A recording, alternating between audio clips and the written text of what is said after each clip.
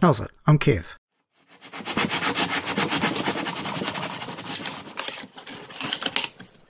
I had a rethink about the area under this balcony.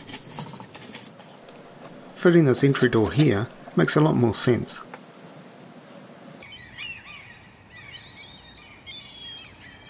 Now I'm installing some stonework made from inscribed foam core.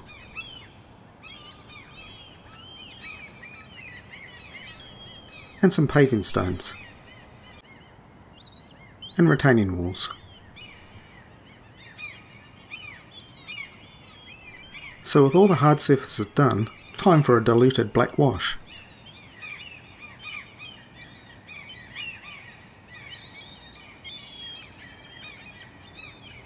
This area is coming together nicely.